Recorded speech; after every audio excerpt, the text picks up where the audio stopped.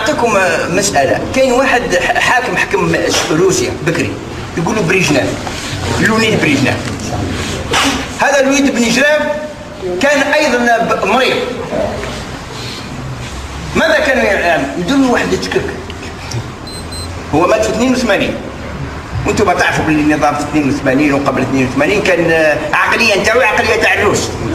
أغلبهم متكونين. ربما خذوها من عند الروس ورانا عارفين قربهم هذا يخرجوه يخرجوه للاحتفالات وهو مريض.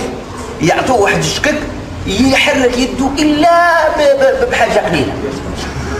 ويعاودوا يردوه.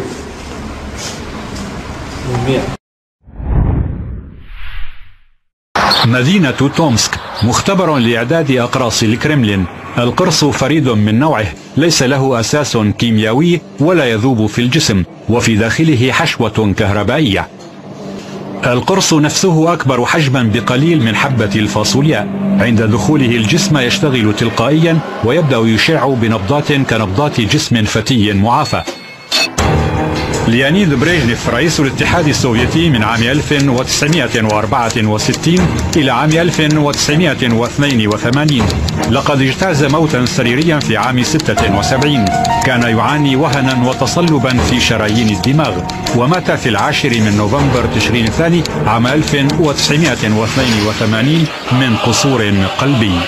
في عهد بريجنيف اكتسب مفهوم طب الكرملين نفسه مغزى خاصا وكان متوسط عمر أعضاء المكتب السياسي للحزب الشيوعي يبلغ نحو ثمانين عاما وكانوا دائما في حاجة إلى مساعدة الأطباء. في السنوات الأخيرة من حياة بريجنيف كان الأطباء في كل مرة قبل خروجه إلى الجمهور يعيدون إليه شعوره بواسطة عقاقير طبية قوية المفعول. فلاديمير لينين مؤسس الدولة السوفيتية. قاد الاتحاد السوفيتي من عام 1917 إلى عام 1924 وقد مرض في مايو أيار عام 22 مرضا شديد الوطأة وبقي عاجزا عن العمل حتى نهاية حياته وكان سبب الوفاة حسب الرواية الرسمية تصلب الشرايين. وفي الأشهر الأخيرة من حياته فقد القدرة على التفكير بصورة كاملة تقريبا. هذه الصورة التي التقطتها شقيقته بقيت سرية سنوات عديدة كالتشخيص الرسمي للمرض الذي أدى إلى وفاته.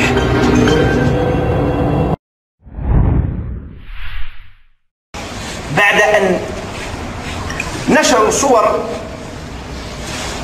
الرئيس على الرأي العام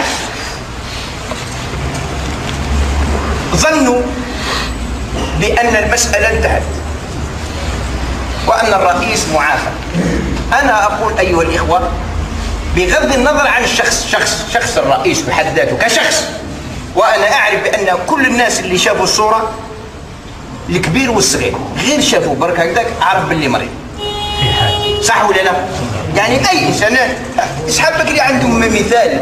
يقول لك اذا تشوف كي تشوف العين اترك السؤال تسال ولا ما تسألش. لكن لما شافوا عرفوا بأنه مريض. بعض الناس على بالك المريض لما يكون في تلك الحالة والطريقة اللي يفد بها الكاس. نعم. حسوا الناس باللي مريض. وماذا قالوا؟ قالوا ربي شفيه كشخص. مش قالوا ربي شفيه بمعنى يبقى بالحكم. على الحالة هذه. بعض الناس آه، شفاه طبيعة يعني كل إنسان ولا عجايز ولا كذا كي شافوا هذيك الحالة ويدوا باش يرفدها إلا بشق الأنفس وكذا قالوا ربي شفيه لكن هذوك ال- ال- ال- البوتفليقية اللي أسروا في وقته والديناصورات آه قالوا ها من الناس يقولوا راه شفيه لا هم يقولوا ربي شفيه كشخص ولا يقولون أنه لا بد أن يأتي الم- ال- ال- ال- الحكم من جديد خلاص إذا كان الرئيس لا يستطيع أن يرفع كأسا إلى فمه.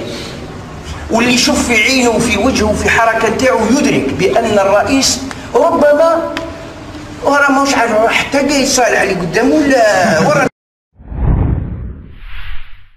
مما كشفوا عن الصور عوض أن يتخذوا منها حجة فإذا أصبحت عليهم ماذا؟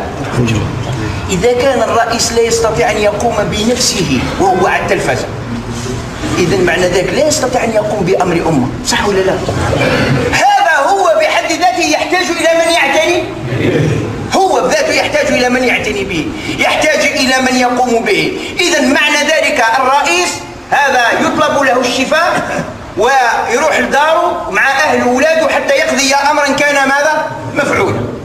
أما باش يسوس البلاد من جديد فهذا مغالطة كبيرة ولا يمكن لأي عاقل أن يقبل بها.